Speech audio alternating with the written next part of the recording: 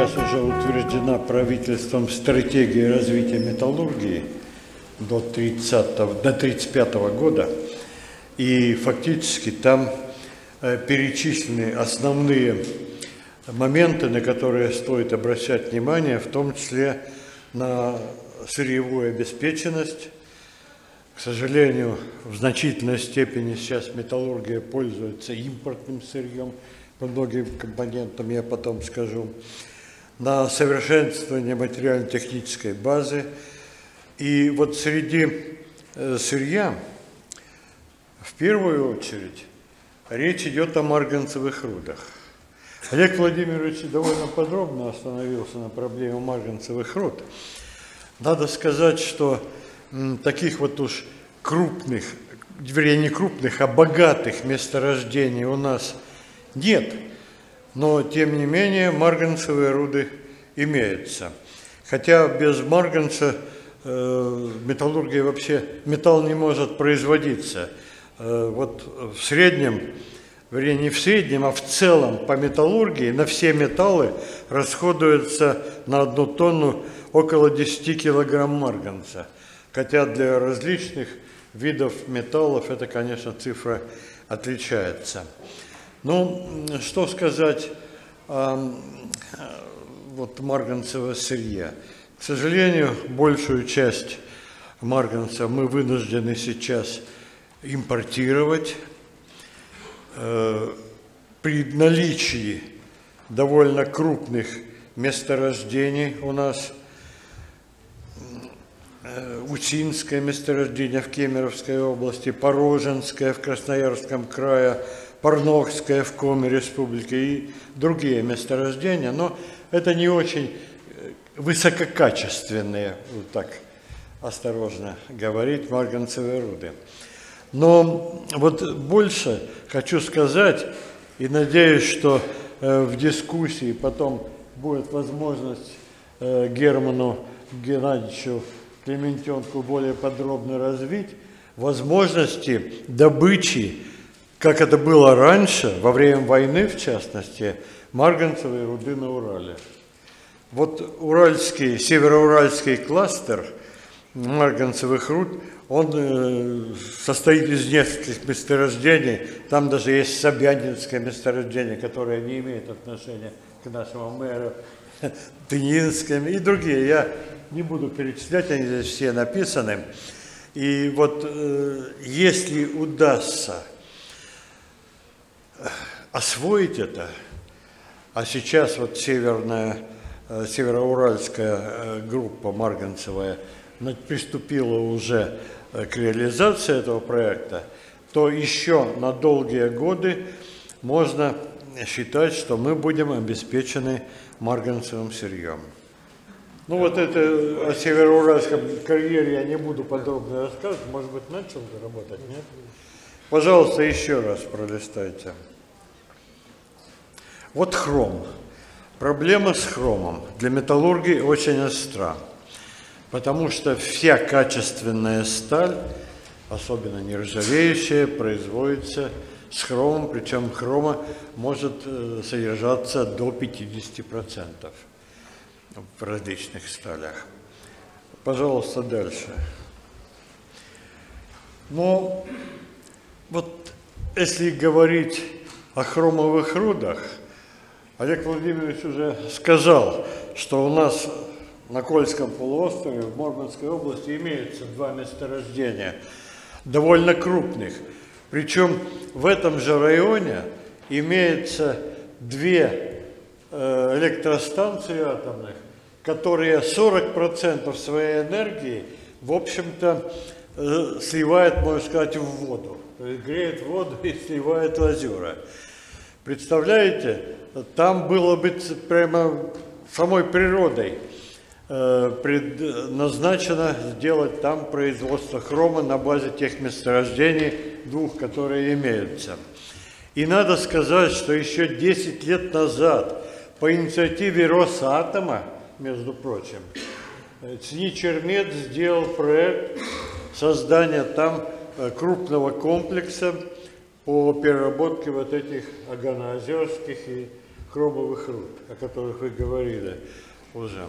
К сожалению, э, проект до сих пор не реализован и ждет своего воплощения.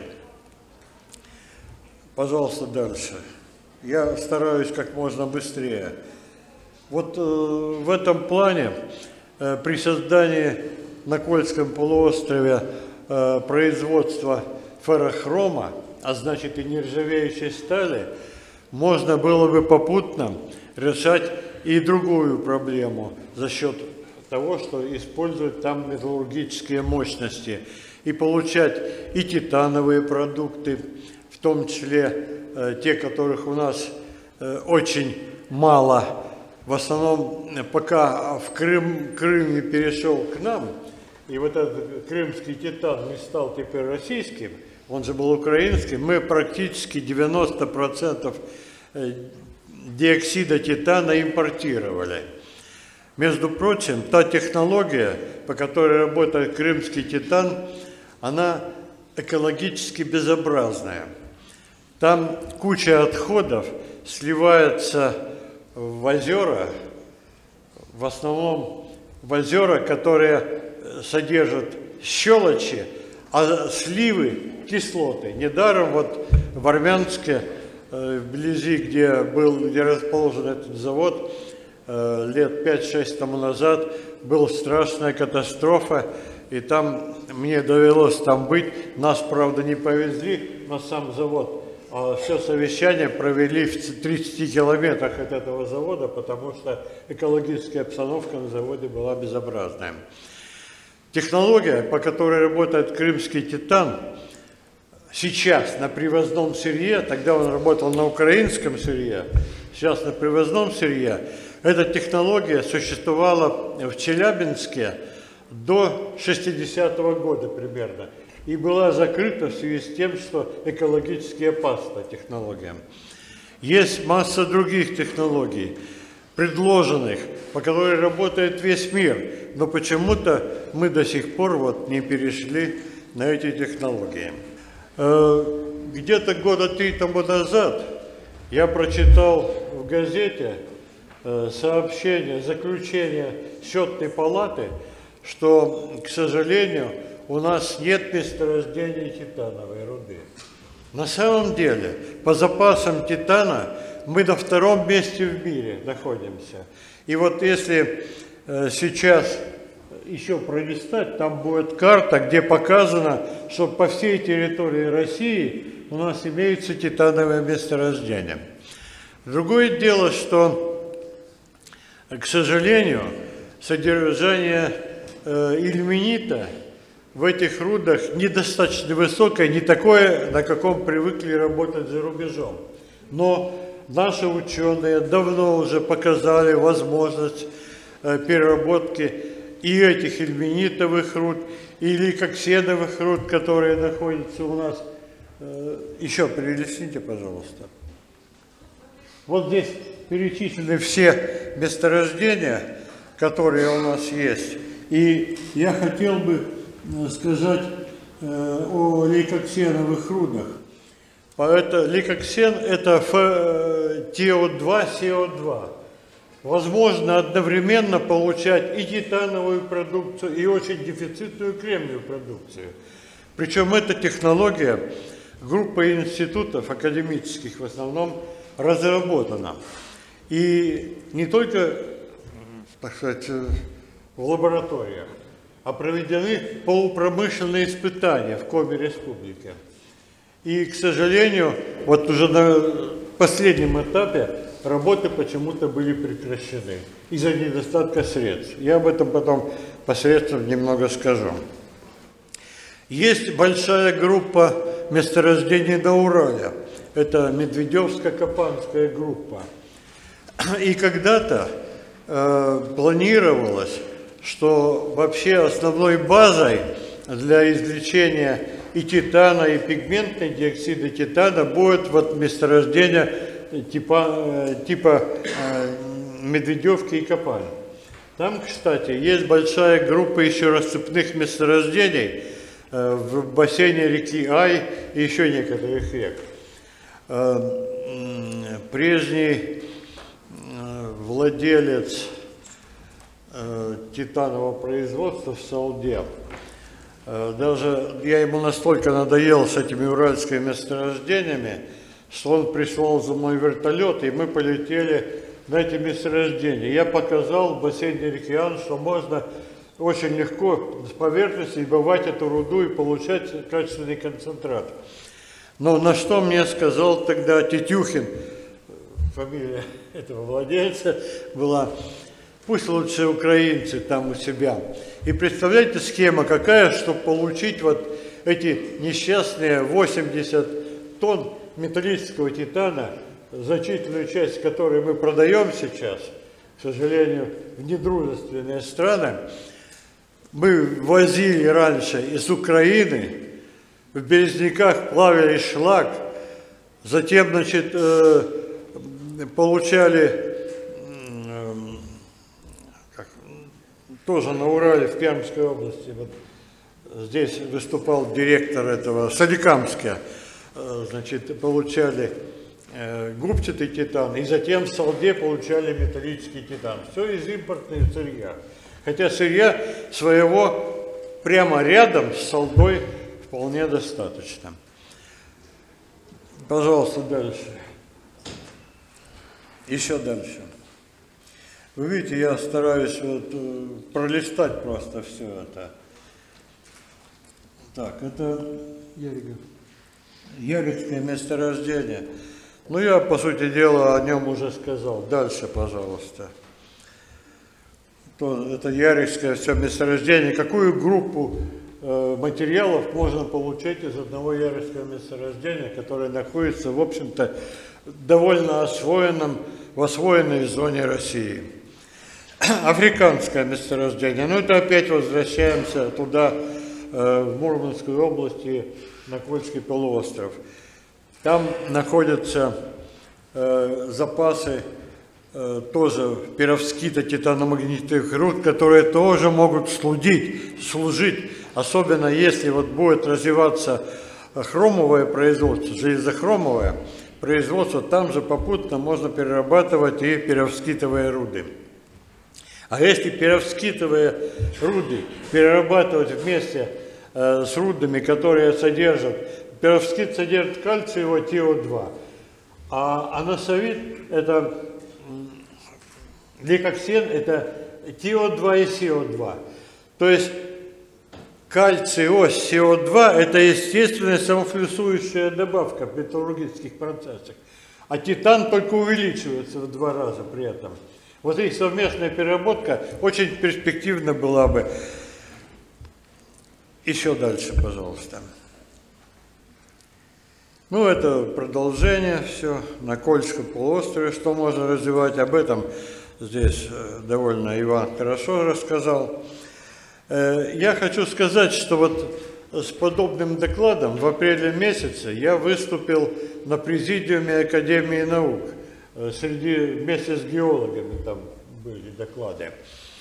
И по результатам этих докладов было принято решение на президиуме э, дать конкретные предложения в Минпром что можно сделать из наших отечественных руд, какие металлы можно извлекать, минуя импорт. импорт. И мы такую работу выполнили. Вот я, как председатель научного совета по металлургии в Академии наук, э, нашел 42 предложения, где можно конкретно из местного сырья получать высококачественную металлопродукцию. Эти все материалы мы передали в Минпром, но, к сожалению, Минпром как-то не обратил на них никакого внимания. И пока так будет продолжаться, мы далеко не, двинем, не двинемся. Еще хочу сказать уже о качественных металлах, которые перечислены в том э, перечне, который я представил в Минпром. Еще об, одном, об одной стали. Это совершенно новая сталь, высокоазотистая, вот для того, чтобы получать нержавейку, мы используем никель и хром. И добавляем молибден и другие металлы. А здесь, кроме железа, только азот. около 1% азота и немного от около 1% молибдена.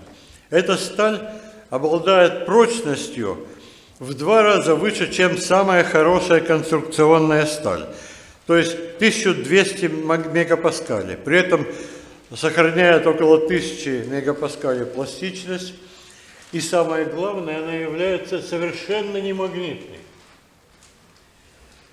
Ее бы использовать не только в мирных целях. К сожалению, мы уже три или пять лет бьемся с тем, чтобы эта работа пошла вперед. В настоящее время э, в Прометее готовится опытная установка на 2 тонны такого. Вообще все работы мы провели на Прометее, кстати, первые такие опытные. Показали. И слиток даже получили, прокатали этот слиток. Хорошо катается. И вот сейчас готовит Прометей такую опытную установку. Все дело в том, что все это делается на частные средства. Мы так не смогли добиться бюджетных средств, хотя докладывали даже на различных комиссиях. И мне кажется, что так будет продолжаться долго, пока частных инвесторов наша страна не научится стимулировать. Вот мне раньше, когда я был еще первым замминистром науки, удалось объехать всю Европу и изучить, каким способом э, стимулируются частные инвестиции. Очень просто. Вот миллиард вкладывает частный инвестор, освобождается от налога на миллиард двести миллионов. Между прочим, Мордашов, когда прочитал мою книжку эту тему, сказал, когда это войдет в жизнь, имей меня первого.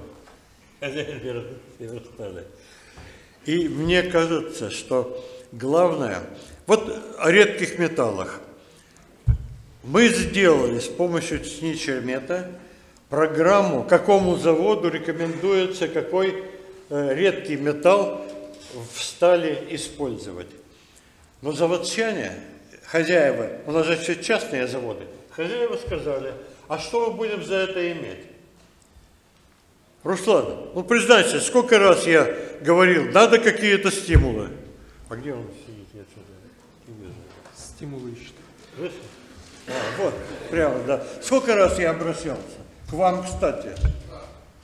И так ничего же. А заводы, когда мы дали им это списка, а зачем? У нас и так сталь покупают. Зачем нам тревожить? Зачем покупать редкие металлы? У нас сталь идет. Вот и все. Пока стимула не будет, все это ваше хозяйство, редкие металлы будет стоять. Спасибо за внимание. Я уложился. Спасибо.